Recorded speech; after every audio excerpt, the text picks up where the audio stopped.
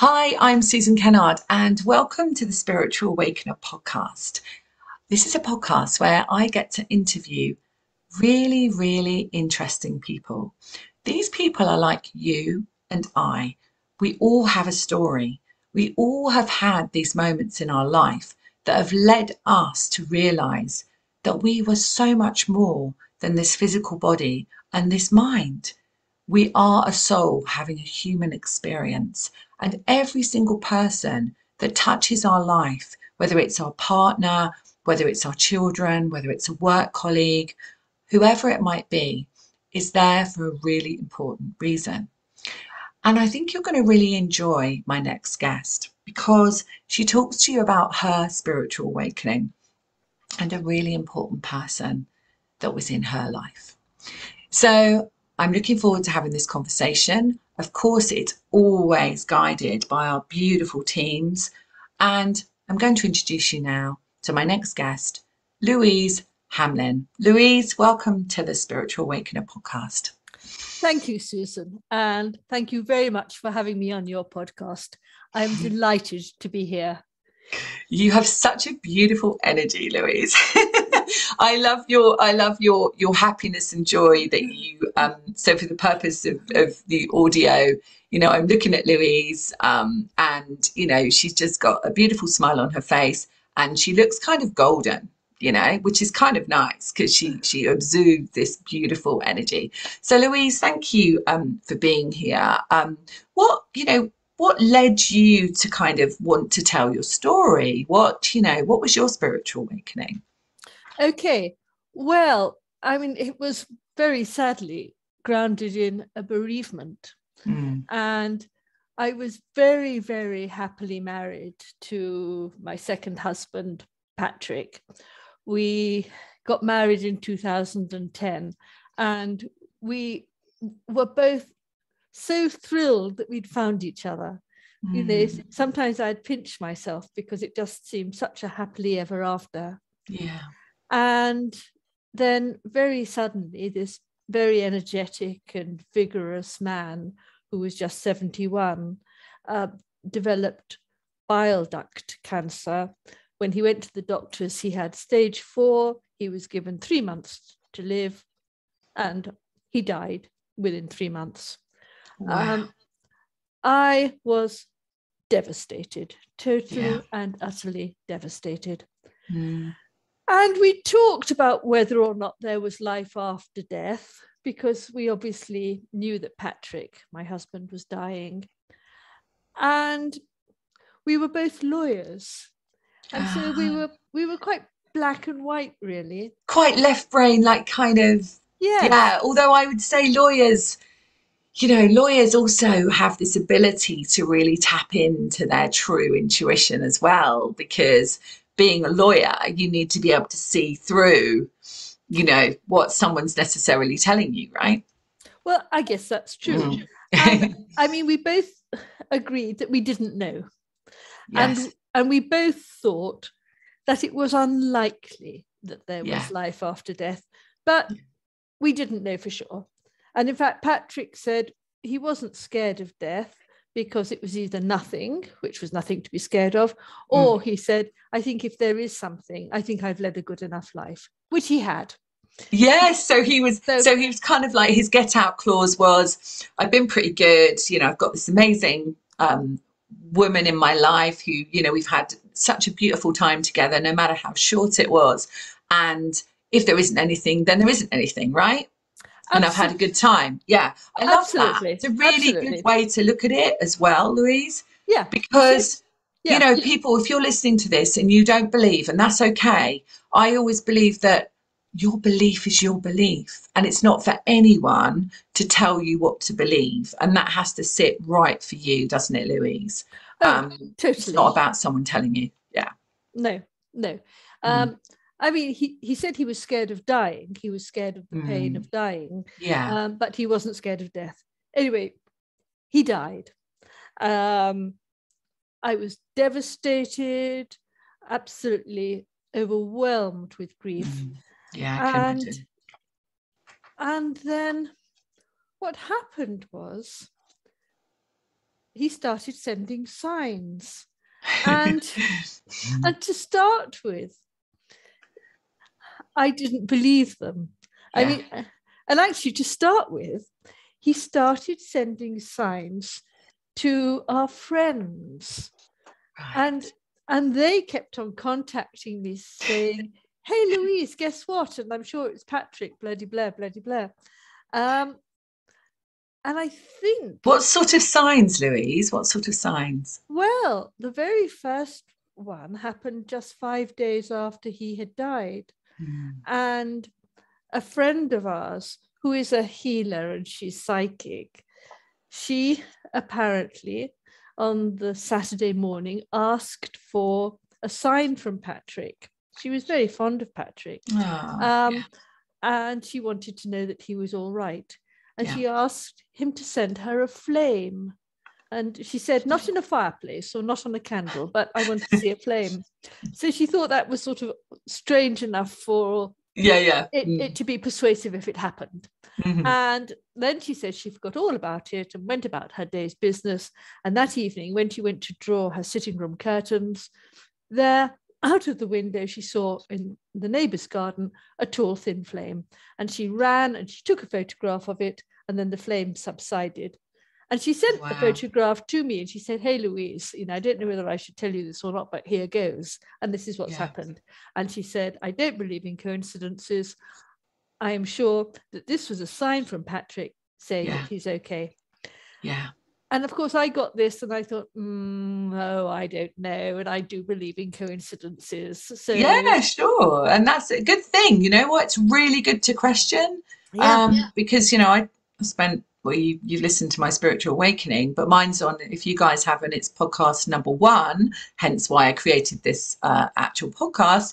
And, you know, I was a scientist as well. I was like, you know, evidence based and I want to have evidence. And I rejected being a medium for a long time after my spiritual awakening. So, you know, it is important to question and to discern and not just be told something. So I love that, Louise. Yeah.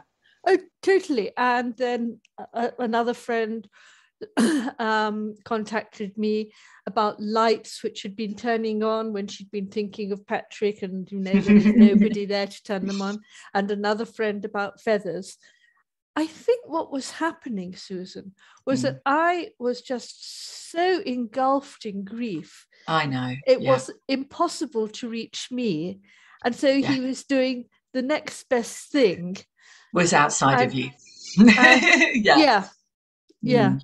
Yeah, I love that. I mean, and that's a really good point as well, Louise, is that, you know, because I've been a medium for a very long time and what they're, um, you know, when I channel people and guides and so on, what they do say is that they have to be able to blend with our energy. Okay. So they have to be able to blend and they can't blend if we're in this incredible dense grief um, of loss because they just have to come in our dreams right? I or move something which we're going to talk about but move something in the house you know so they let us know. But once we're out of that grief they can blend and really come in and and, and you know let us know uh, they're around. I think i think that's very true. And actually i mean i went to see mediums as well. And um you know a, a, a, total case of, I think they call it cognitive dissonance. On the one hand, that's a word that's been bandied around a lot over these last couple of years. on, the one, on, on, the one, hand, I didn't really believe in an afterlife. I didn't really yeah. believe that yeah. Patrick still existed. Yeah. Uh, on the other hand, I was desperately worried about him in case he wasn't okay, and oh, I and I and I wanted yeah. to make contact. And the first medium I went to, which was only uh, probably about two weeks or so after he died. Yeah, yeah. I got nowhere with her, and she got nowhere with me. Okay. And, and in fact, she got a bit ratty at the end because I kept on saying, "Well, no, no, um, no, that isn't him. No." And anyway, yeah. very luckily, I didn't leave it at that. And uh, yeah. a few weeks later, I went to see another medium, and it was yeah. brilliant, and it was amazing. Oh, and I guess my so heartfelt, isn't it, when you get that clarification. Yeah. yeah. And I guess I guess my message to your listeners is, you know, if you hmm. go to a medium and it just doesn't resonate with you, don't give up. Try another medium. Absolutely. And and there's also, you know, the spiritual churches. You know, I spent a lot of time working on the platforms giving evidence of survival in on the spiritual churches in London. And there's also that as well, where, where you can go along and you can listen and you don't have to kind of put your hands up or anything. You can just listen and listen to the messages. You might get one, but listen to the messages that others are getting so that you can see that, you know, this is not this is not not real. Uh, mm. I, absolutely. Mm. And anyway, gradually I started to get some um, mm. signs. Actually, one of the funniest ones, I think, mm. is a sign that didn't work. And just two weeks after his death, my very closest friend was coming to stay. Mm. And um, I, just before she arrived, decided that I would ask for a sign because all my friends were getting them. And so I, I asked for mm. um, to be given some snowdrops within the next three oh. three days. Oh. And Patrick had died in February, so you know that mm. made sense.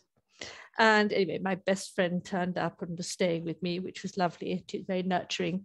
And after the three days were up, I said to her, Well, you know, I did you tell her though beforehand, or you didn't tell no, her? No, I no, you kept her. it yourself. Yeah, yeah, yeah. And I said, Well, you know, I asked for a sign, I asked for some snowdrops, and they haven't come. I, you know, I don't think there's an afterlife.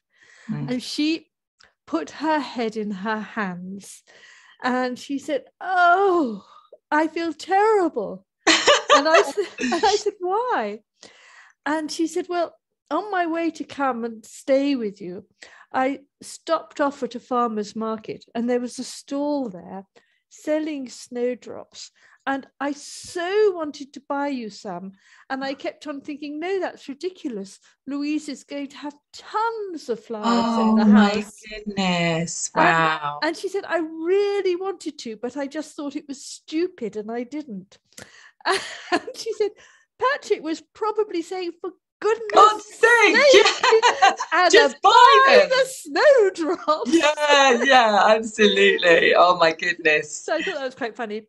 Uh, it's an amazing. That's an amazing. Um, I love that synchronicity with that. And you know, if you're listening to this, you know, quite often we we get these thoughts in our mind, and these thoughts might seem silly, but actually they're very strongly are i call it a gps for our soul but you know they're very strongly that intuition. And so if you feel you know you see a feather or you see a robin in fact funny enough i'm wearing robins today.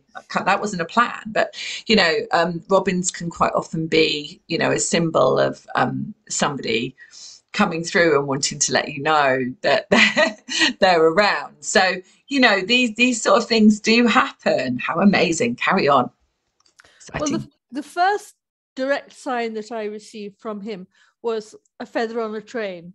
And, yes. and I asked um, after a few weeks, you know, for another sign. Mm. And um, I asked for a feather on a train because I was going to be getting a couple of trains the next day. Yeah. And and the next day I got onto the train and it was quite crowded but there were a couple of empty seats at the far end of the carriage. So I whizzed up and I sat down on one of the seats. Oh, I was very pleased. And I glanced at the other seat and there was a little feather. And I, I thought, love that. And I thought, oh, but then I thought, it's oh, a coincidence. A coincidence. um, and then and there were some problems with lights, but again, you know, oh, yeah, yeah, a, a, a few things, a, break in the electricity. I yeah. managed, I managed to find a reason for everything. Yeah, and that's I, good. You know what, Louise? You know, I I'm with you on that, and I think it's good to question, as I've said, you know, throughout this this chat, and it's good to question. You know, so if you're listening to this, we we are not telling you this story, or I'm not telling you mine, and Louise isn't telling you, you yours, so that you have to believe it. We are telling you this story because it is an experience that we've both had. And it is, we're two people. This is why I kind of really wanted you on the show, is that we're two people that are very scientifically, um, analytically led. And so we're not the kind of people that, you know, would be ordinarily talking about this, you know, in our, I call it our previous life, Louise. Yeah. We wouldn't be talking about this. And so, you know, listen to this because we are definitely people that are, you know, evidence based. so, oh, um, oh, oh, totally. Yeah. And I mean, now when I look back on it, I think, poor Patrick. Yeah. He, I was, he was having to work so hard. I was. he won't a, mind. I was, such, I was such a hard nut to crack. And anyway, then the WhatsApps began. Yeah. And the first WhatsApp. Because your book, can I just say, um, your your books. What? Tell me the title, but it's WhatsApp. Yeah, my my book is called WhatsApps from Heaven. WhatsApps from Heaven. I, isn't that the best title? so yeah, and go ahead. It, it's it's because you know I sub I I in time discovered that Patrick could manipulate WhatsApp, which oh, amazing, is amazing. But the first yeah. time it happened, I was out of the house. The house was locked. There was no radio on. Um, there was nobody in the house. I came back and I found a whole lot of words in the message box ready to send to Maria.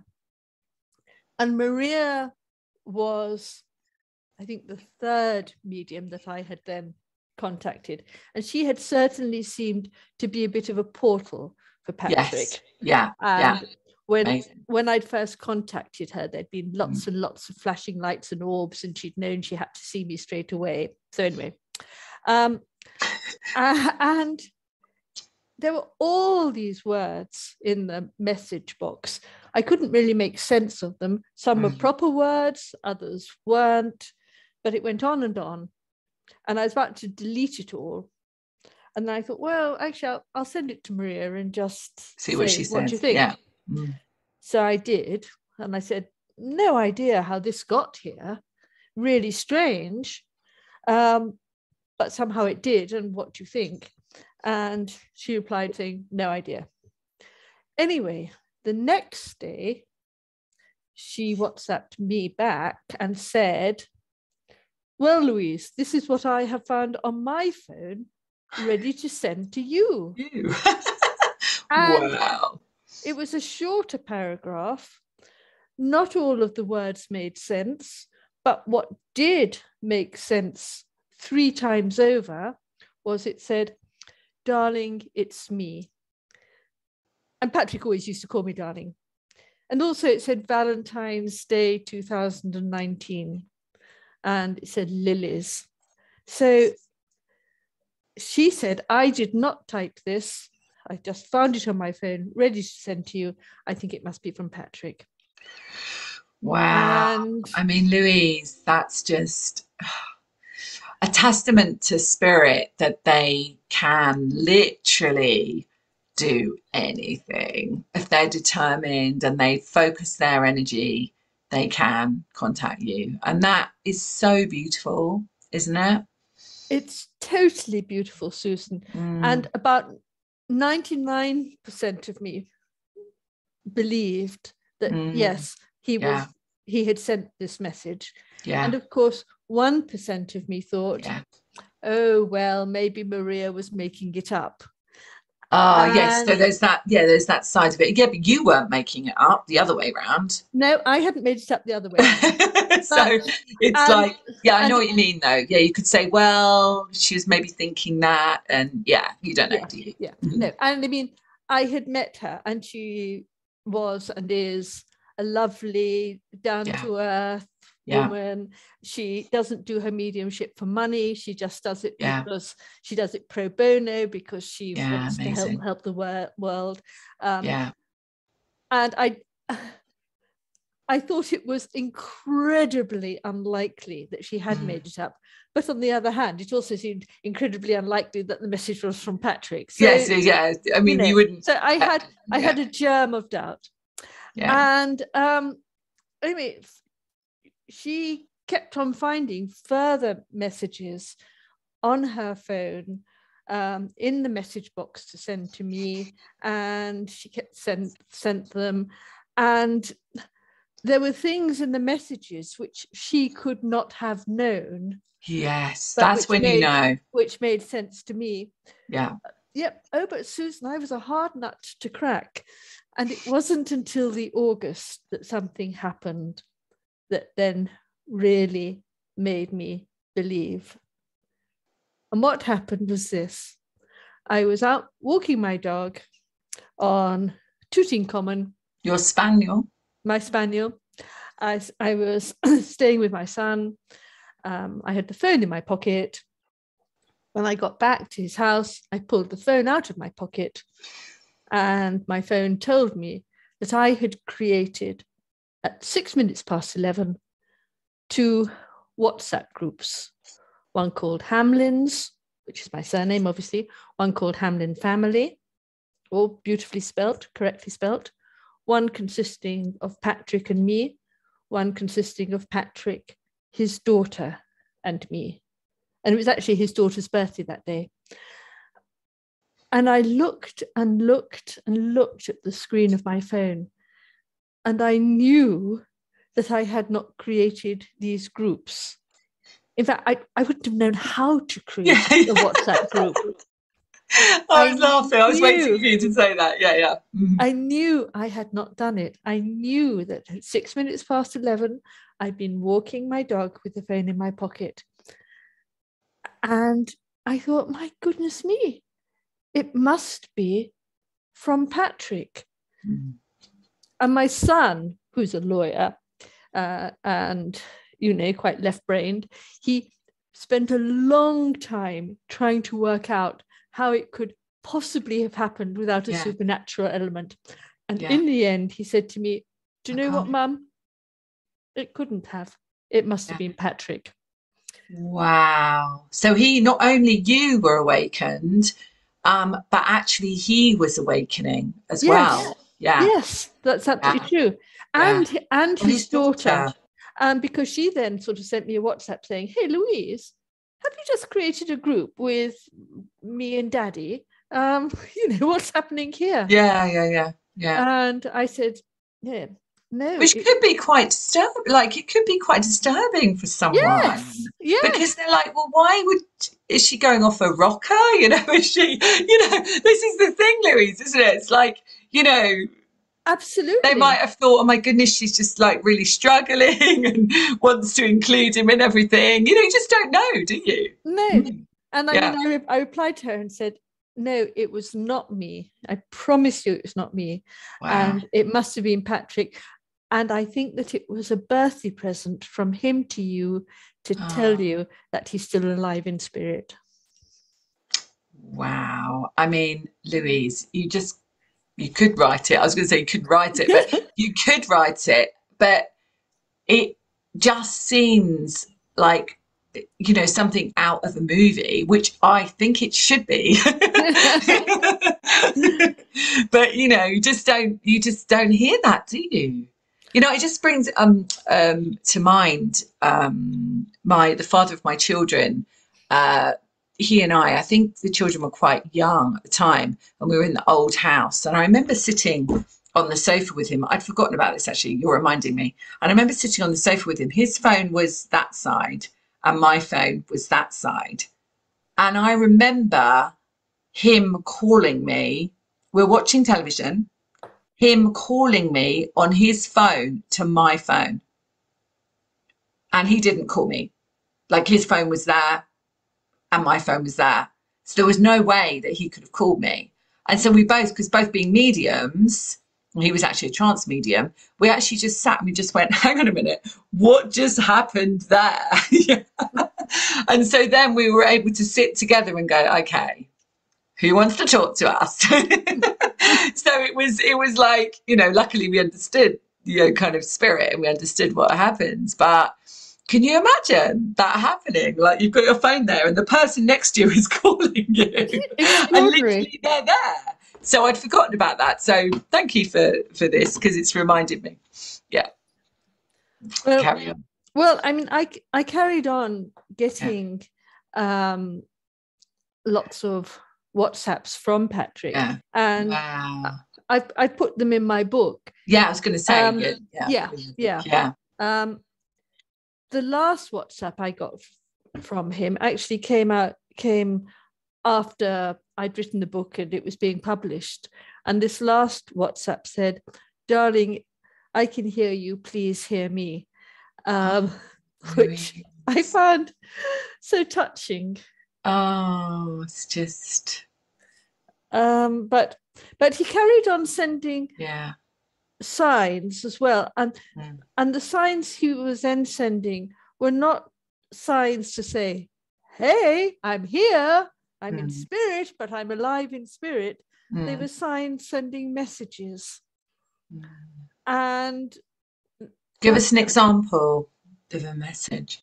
well one day i was playing bridge with three friends and i don't know if you play bridge or not but you use two packs of cards Mm. and you play the first hand with one pack and then you alternate the packs.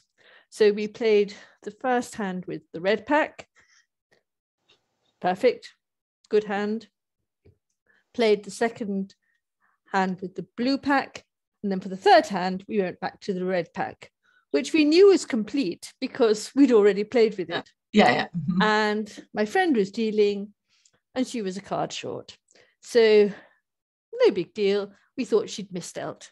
So we all counted our cards to see who had the extra card. Nobody had. So bit odd. The card must have dropped from the card Dropped table. on the floor. Yeah, yeah. mhm. Yep. So we looked on the floor, no card. So we looked on our laps, we stood up, we shook ourselves down, we searched and searched and searched. We could not find the missing card. Wow. And um, somebody said, Oh, I bet it's Patrick. I bet it's a heart. So we looked to see what it was. And the missing card was a nine of hearts. Um, and so they said, oh, Does that mean something to you? And I said, Well, no, the nine seems quite random. I mean, if it the queen of hearts or the ace of hearts, but or the even the king of hearts. but the nine seems very random. Anyway, we searched, we could not find that card. In the end, we had to go and get another pack of cards. Two or three days later, I was telling a friend about this, and she does tarot, which Mhm. I don't do and don't know about. Hmm. Normally, and I, I, I do, but I don't. Yeah, I like tarot for me. I have great girlfriends that do that, but I just work directly with spirit. I don't really use cards for it, but I know that a lot of people do, and they're amazing at it. Well, she said, Oh, Louise, she said, the nine of hearts, that's the nine of cups. She said, Oh, She said it's the nicest possible card he could have sent you. Mm, It means the deepest possible enduring love. She said that's the Oh, best card of all in amazing. the tarot. Mm, And mm. I thought, Wow, I thought, wow. it's got my. Let's see if I've got them here. I don't know if I've got them here. No, not at hand. As I would have, as I would have found it very, very quickly. But oh wow, so beautiful. Yeah, and what I thought was extraordinary was, Mm. you know, Patrick didn't know anything about Where was it? Where you, you found it? Where did you find it? Well, I didn't find it until Oh. after the book had been published. I found it, I found it over two years after it had been lost. No. Over two years later, it Um, suddenly reappeared in the room, and we had searched that room. Yeah. No, you knew it wasn't there. We Yeah. had we had spring cleaned the room twice, Yeah. and it's only a small little room. It's just Yeah. a, a very small little Yeah. um, tiny room, which Yeah. doesn't have very much furniture in. But we had searched and searched, and then suddenly, after two years, it reappeared. Um, so yeah, Wow. but I think what's really interesting is Patrick wouldn't have known how to create a WhatsApp group. He hardly used WhatsApp at all, just a little Yeah. bit. He Yeah. wouldn't have known about tarot.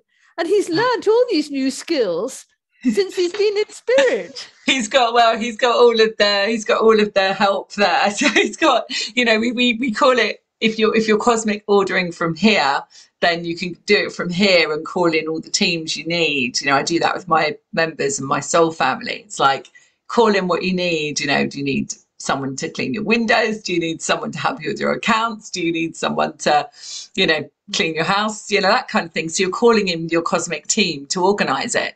But in a way, what he was doing was calling in his team there to assist him to direct energy so that he could actually get those messages to you. And I, you know, I totally get that. I totally get it. And it is just, I mean, you know, the word I'm getting is awe inspiring, which is not really a word I would say, but I really feel that, you know, especially coming from someone like you, that really it took a long time to believe, me too, but it took a long time to believe that actually this had to be something that wasn't uh, you you couldn't work it out.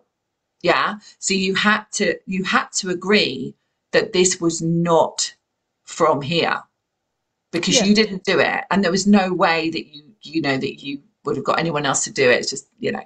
So that's when you have to question it don't you? And that's when you have to say you know what? Actually there is so much more that we don't know.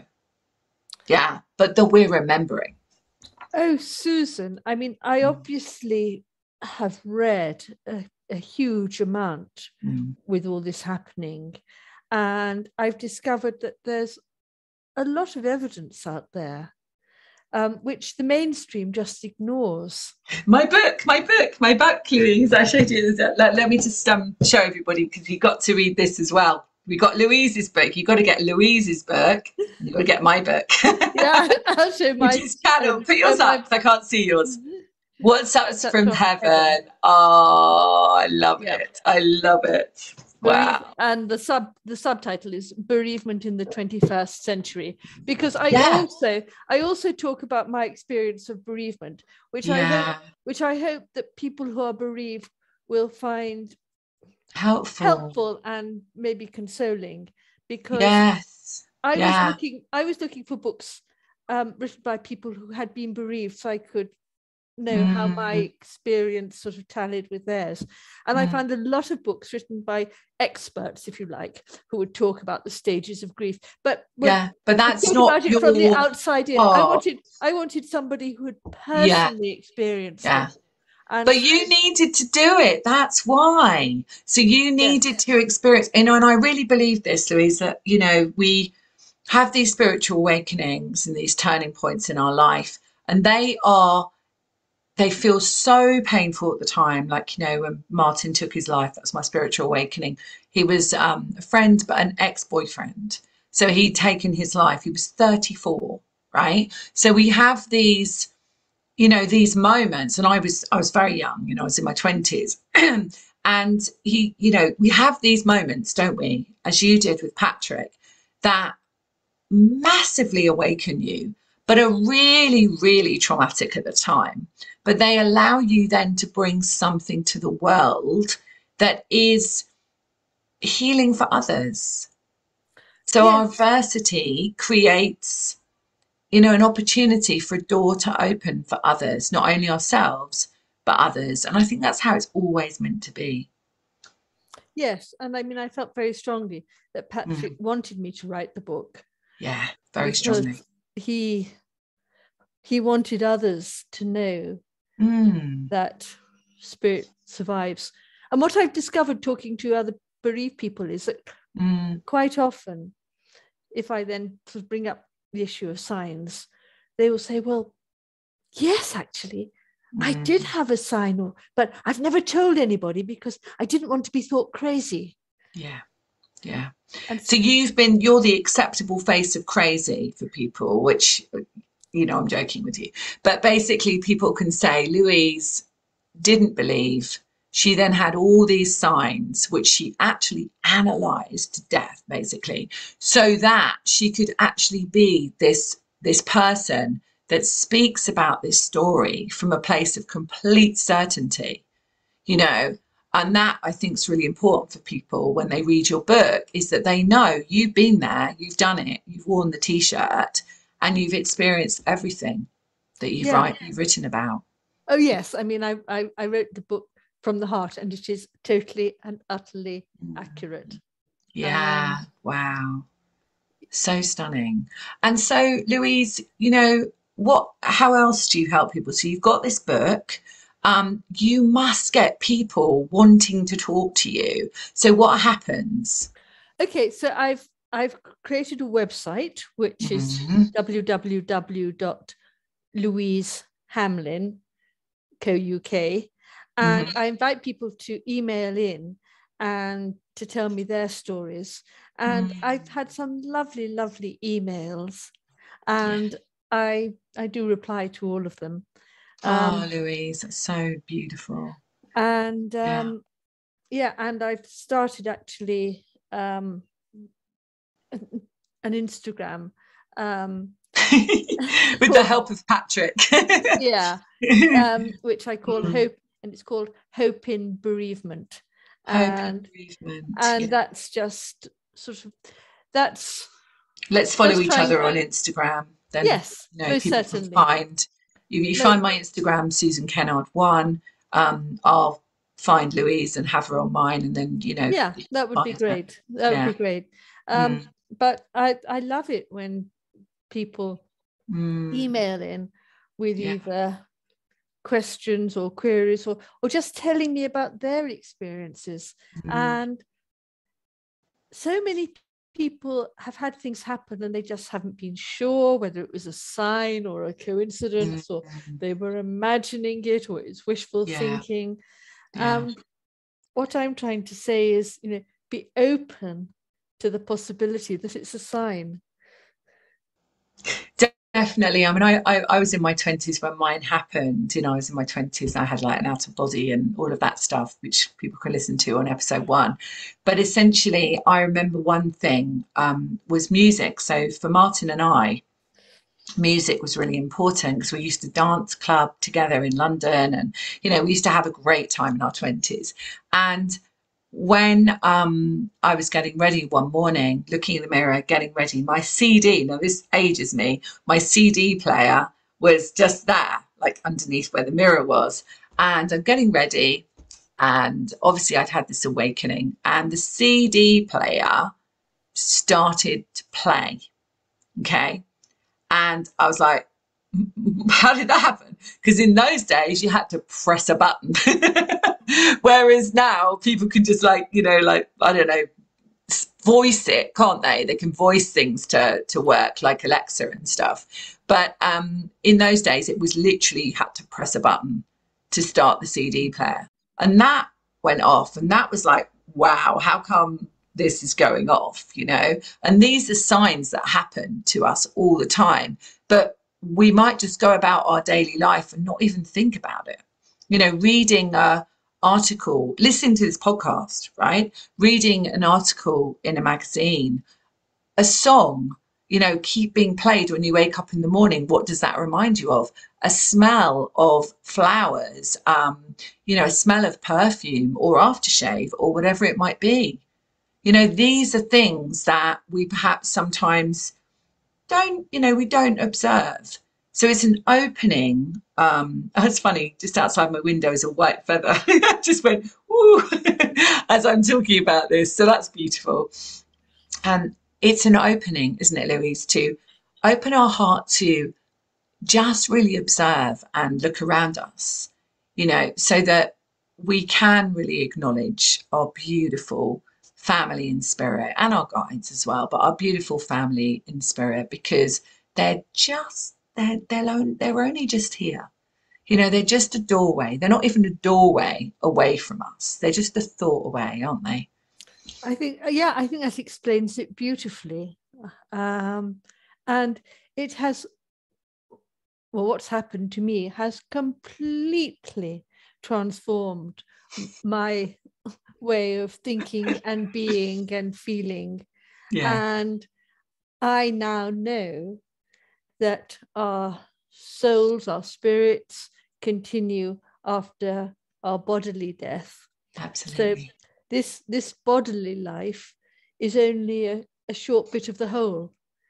which yeah, actually absolutely. I think is really, really cheering because it yeah. does mean that if you've made mistakes and bad choices in this bodily life, it's not the end of the world because yeah, yeah. you will you will carry on in spirit. Yeah, yeah. I yeah i mean that's just so beautiful. And you know and i think um reincarnation was uh or incarnation was taken out of the bible um and i think the reason why it was taken out of the bible was so that um you know and, and religion uh, because it was a good way to control people. And say like you've only got this chance right? You've got to do it right this time or else you go to hell right? And actually we know that that isn't true right? But it was in the old, I'm not religious, but it was in the old, um, you know, Bibles and Testaments before, and it was written that, you know, we yes. came back, but that was taken out. Yeah. And I think that's just so cool that, you know, now we're all remembering again. Yes. And do you believe, Louise, that we've you know, we've gone through this incredible awakening over these. Uh, we're recording this on the 17th of November 2022. Um, but we've gone through an inc- unless you've been in a coma you we've gone through an incredible awakening these last you know um, two nearly three years where we've had to really look at who are we yes i mean we have lived mm. through very very strange mm. times haven't yeah. we and yeah. Um, and there are challenging times ahead. Um, mm. But it does mean that people have stopped to think yes. and, and to wonder about things. Um, yeah. Yes.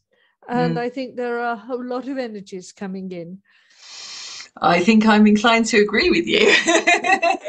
I, you know, I work with the Galactics, um, which I never would have said years ago, but you know, many years ago they came into work with me, and you know, being the scientist that I am, the spiritual scientist that I am, uh, I was like, well, you know, why are you come, coming into work with me? And they're like, because the frequencies are raising and we are blending and we're supporting your planet as you live your mission and spread your light in the world. And, you know, we have to just embrace that. Yeah, we have to embrace it. Or we can stay stuck, you know, we can choose that. And some souls will choose that, and that's okay. But it, we can't all be the same. But I think this is an opening. And this this podcast today, you know, if you're listening to this with Louise and I, this is this is a an opening of the door of your heart to let you think about and consider that you are this incredible being of light. You are this soul. And you just chose to have a physical jacket, as Patrick did, for a little while. You know, to let Louise know that she was the best thing since sliced bread, his Queen of Hearts, that she experienced divine love, that they are divine love and they always will be divine love and they'll always be together, whether he is the other side of the door and she's this side, or whether they are together later on when it's the right time.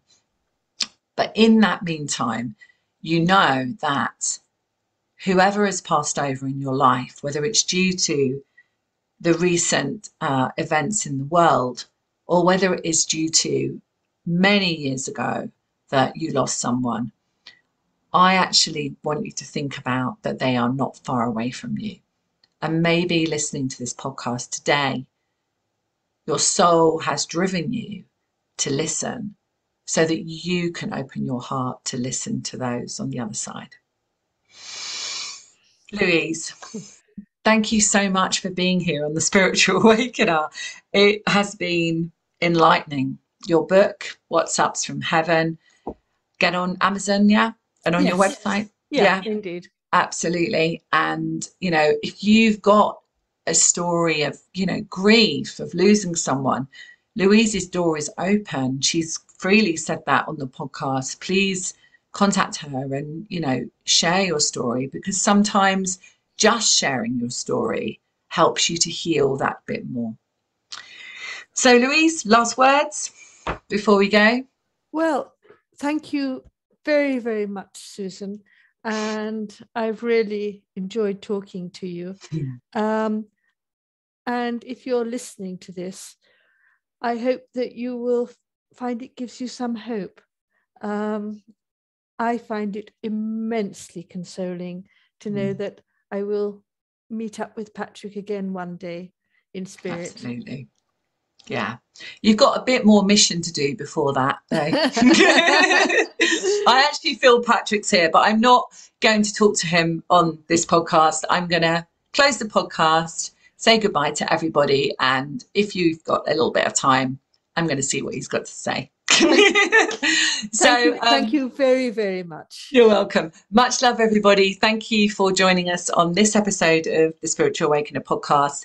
If you want to hear my awakening story that we've spoken about today it's on episode one. You can also read about it in my book awaken the light within your heart where you can also listen to the guides talking to you about healing yourself. So much love for now and until the next episode you are loved